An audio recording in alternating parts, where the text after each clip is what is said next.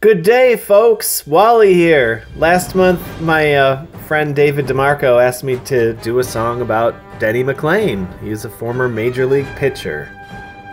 Denny was the last major leaguer to win 30 games in a season for the world champion Detroit Tigers in 1968. He won 31 that year. I don't think there's any doubt that Denny would have been a first ballot Hall of Famer if he hadn't have been plagued with arm trouble throughout his whole career. Denny was also a keyboard player who performed at many venues around the country and on national TV. Decades later, athletes like Shaquille O'Neal and Michael Jordan would cross over from sports to entertainment, but Denny may have done it first. So, here's my tribute. Hope you enjoy it. Denny McLain won 31 games for the Detroit Tigers back in 68. He's a hard throwing righty with a slider and a change, pride of Michigan and Trumbull. And that 30 game season hadn't been seen since 1934 when Dizzy Dean took the Gas House Gang to the World Series scene, made Detroit humble.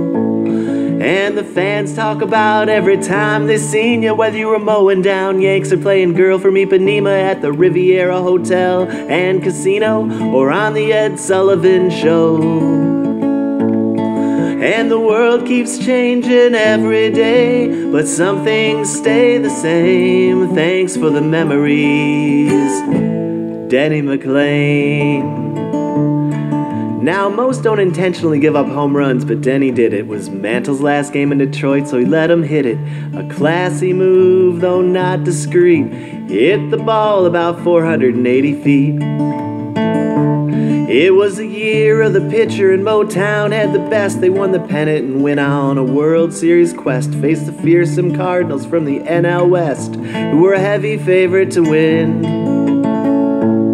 After trailing three games to one, things were looking bleak. Denny pitched a solid sixth game and got them back on their feet. After game seven, the championship was complete, and the rest is history.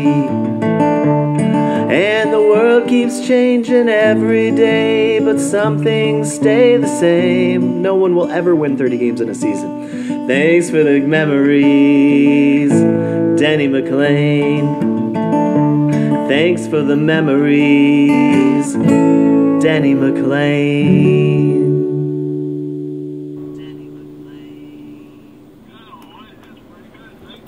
Ooh, Denny likes it, and he's a tough critic. Thank you. I really appreciate you saying that. Man, I told you it was better than ice cream. Better than Bob Gibson.